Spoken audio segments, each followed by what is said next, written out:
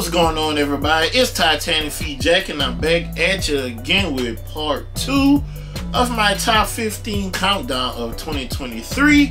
Before we get back into it, pick up where we left off, uh, I need a couple things from you guys. I need you to hit that like button on the video, hit that notification bell so you'll be notified every time I come back with another video, and sub up to the channel if you haven't already. Now, uh, we've seen some pretty good sneakers uh, in the previous video from uh, numbers 15 to 11. So we're going to go ahead and keep it going.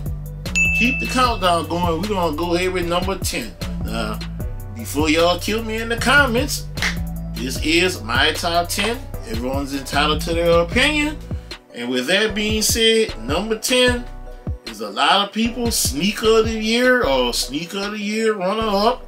You got people on YouTube posting pictures on social media saying that this sneaker I'm about to reveal is the sneaker of the year. However, it is not my sneaker of the year. So coming in at number 10, we got the hey, the Air Jordan 4, the Nike SB. SB Jordan 4s. It was a good sneaker. The rollout was okay. The uh presentation was okay. I just think some things could have been better with that, with the presentation with the sneakers. I mean, we really didn't get any extras. We didn't get any uh any dope gear. I know uh what's that skate shop? Ruckus. We were out there in the rain. Me, my kick sick. My dog sidekicks BR. My dog Hank got heat. We were all out there in the rain when uh Ruckus released these uh it could have been done better, executed a little better, but however, it is a pretty good sneaker. I have a, a great pair in my opinion, but uh it's only number 10 on my countdown of 2023, the Nike SB Jordan 4. Coming in at number 9 on the countdown this year, uh this sneaker uh it's a theme sneaker with like the Marvel product, the Marvel family. There was one came out a few years ago, and now we have part two. Here we go, the Air Jordan 1 Spider-Man, the origin of the story, the origin, whatever the name was. Uh, this is a pretty good sneaker. Uh, shout out to Sneaker Politics again. Got these bad boys for retail. Uh, like these. I like them more than the last sneaker, but this is a pretty good. It doesn't measure up to the original one, but however, it still is a great sneaker. That semi-translucent bottom on your outsole. But this is a good sneaker. The tongue's a little stiff, but I like it a lot. And it is the number 9 sneaker on my countdown of 2023. The number 8 sneaker on the countdown this year is a sneaker uh, not a lot of people is talking about. Uh, pretty sure a lot of people forgot that the sneaker actually came out.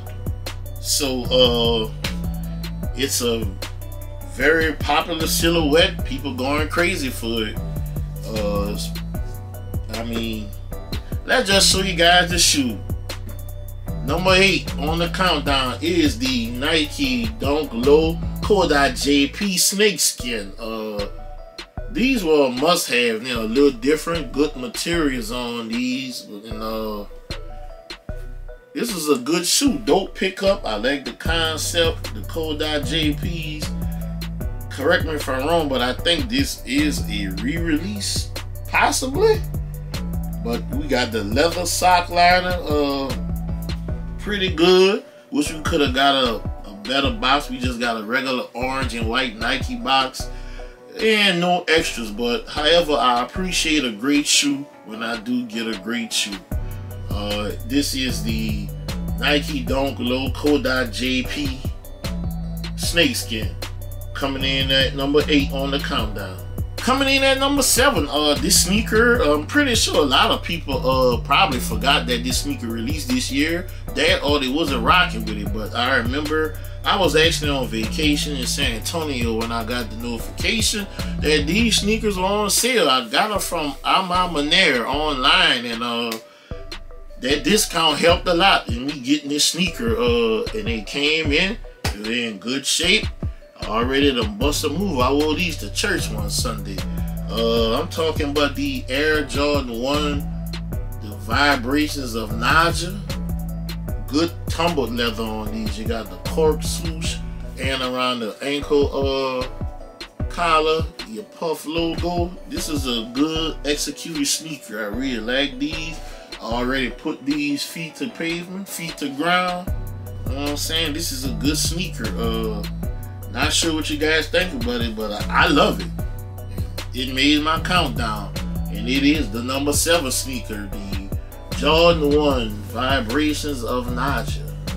The number six sneaker on my countdown, this silhouette, it just came out of nowhere. It took off in 2023. We've had some great colorways. We even had a Doernbecher in this silhouette that's going bananas right now. I really want to get my hand on a pair of the Doernbechers, but uh, that's that price is just high as giraffe. You know the rest of that saying. Uh, but however, I did get this colorway that I highly coveted when I first saw the photos leak of these. I'm talking about none other than the Nike Zoom Vomero 5 in the Varsity Maize colorway.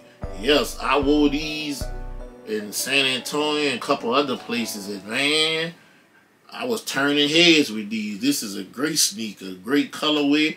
And don't talk about comfort. Oh, very comfortable, guys. I really like this sneaker. So that's it. Number six on the countdown. The Nike Zoom Vomero 5 Varsity Maize.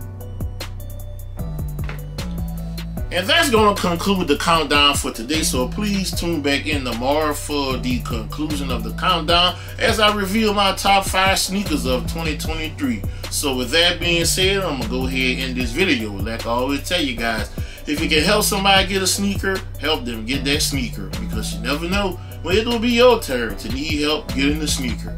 I'm Titanic Feet Jack, signing out.